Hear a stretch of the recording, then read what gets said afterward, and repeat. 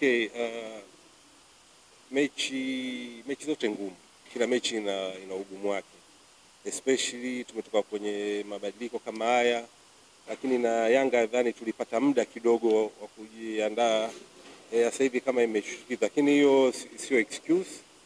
Tunajua ukubwa wa mechi, ni mechi nzuri eh, kwa, kwa si walimu, kwa sababu hautumii nguvu sana kwa motivate wachezaji. Wachezaji wenyewe wanajua ukubwa wa gemu hii eh, for bragging rights na vile vile pamoja na, na, na fomu yetu tukiweza kupata kitu kutoka mechi hii itatusogeza na vile vile inaweza kachukua pointi kutoka kwa wapinzani wetu, kwa hiyo tukawasogelea tukawa karibu yao. Kwa hiyo eh, ni mechi muhimu eh, tuko focus na tuna, tunaelewa ni vita na inabidi tupambane kwenye swala la ushambuliaji ya na- nasema kila mara vitu hivi vinachukua muda, sio kama kompyuta unaweza ukaiprogram ambavyo ikafanya hivyo.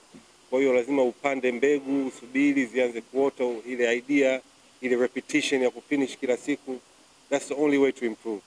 E, vitu vitu haviko kirahisi rahisi tu, yani mtu kasema okay, leo huyu eh, kocha wa, wa masweka automatic itazama magoli na magoli sio tu wafunge masweka, magoli tunaangalia more team goals.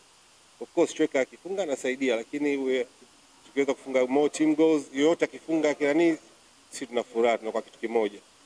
Uh, swala la defenders of course, yes, tumekuwa na injuries nyingi kwenye backline, mm -hmm. lakini I believe tuna cover, tuna, tuna squad kubwa, tuna wachezaji karibia ishirini na nane, tuna squad kubwa za kuweza kucope kwenye hiyo situation. Uh, tumewasajili hao kwa sababu tunawaamini e, na ni vile vile ni muda wao. Mtu anapo sometimes e, ni, inakuwa rahisi kwa mwalimu, mtu anapoumia unampa mtu mwingine nafasi kuonyesha yeye ana uwezo gani.